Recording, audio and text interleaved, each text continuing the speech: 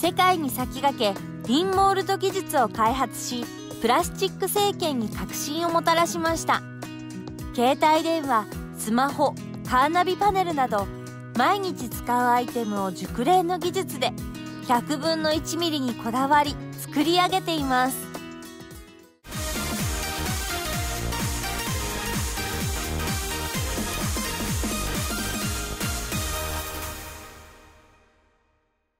で作ってるものは、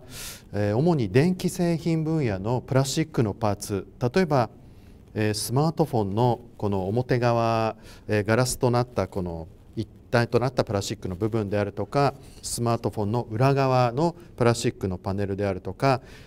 背面側ですね。こういったプラスチックの部分を射出成形している。それから最近始めた新しい分野なんですけれども車の CID と呼ばれる、えー、センターインフォメーションディスプレイこういったところのパネルをインモールド成形と呼ばれる非常に特殊な成形方法で数多く生産しております。ご紹介するのは成形技術員の梅沢健介さん。プラスチックの成形を担当しています、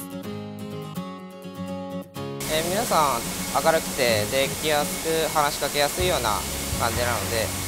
みんなで、ま、まあ、仲良く、まあはい、話しながら仕事しています、えー、自分が作った製品が世の中に回っているのを見ると、まあ、誇らしげに思いますね、まあ、その検査とかで、まあ、不良など見逃さないようにあとはお客様にいいものを送り出せるようにまあそこを心がけて仕事をしています、まあ、この会社は